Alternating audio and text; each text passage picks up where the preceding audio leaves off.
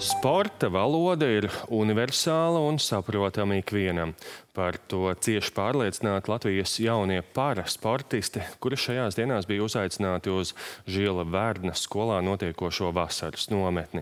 Tur ratiņu, tenisa un citu sporta veidu pratēji nometnes dalībniekiem mācīja, ko nozīmē profesionāls sports un ka bez piepūles rezultāts nav sasniedzams. Un turpināja Kīnce.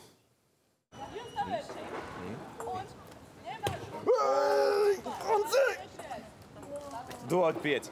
Rojas, lūdzu. Doma uzaicināt uz Žila Vērna sporta kluba rīkoto nometni bērnu un jauniešu parasporta apvienības aktīvistus trāpījusi mērķī.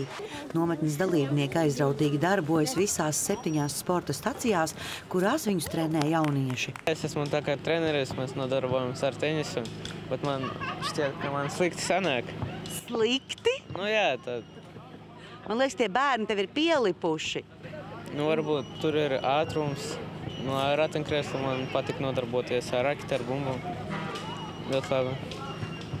Draugi man ir tenisā arī. Man ļoti patīk uh, mācot cilvēkus, un uh, lai viņi uzzinātu kaut ko jaunu.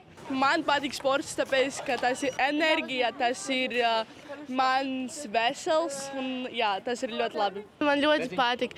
Tas ir mana veselība, un man patīk trenē, trenēties.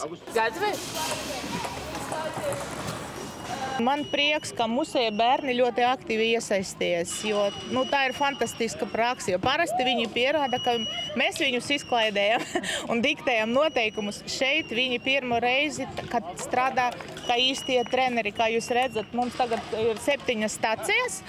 Un katra stācija ir mūsu sportisti. Jūs redzat, tagad tas ir pavisam jauns sporta veids mūsu biedrībā un paukošana.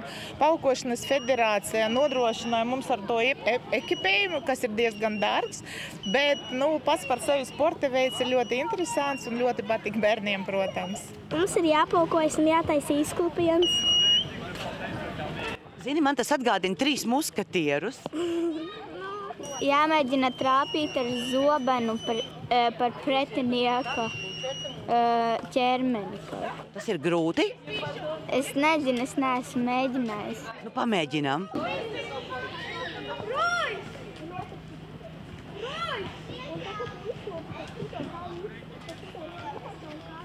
Šodienas mērķis ir iepazīstināt bērnus, kā var dažādi sportot, un ka sports ir tā unikālā valoda, kurā mēs saprotamies visi.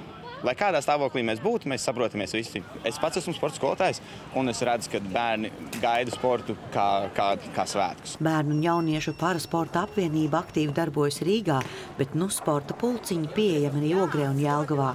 Natāļa Novikova aicina vecākus un jauniešus iesaistīties, jo aktīva sportošana gan uzlabo veselību, gan ļauj apceļot pasauli.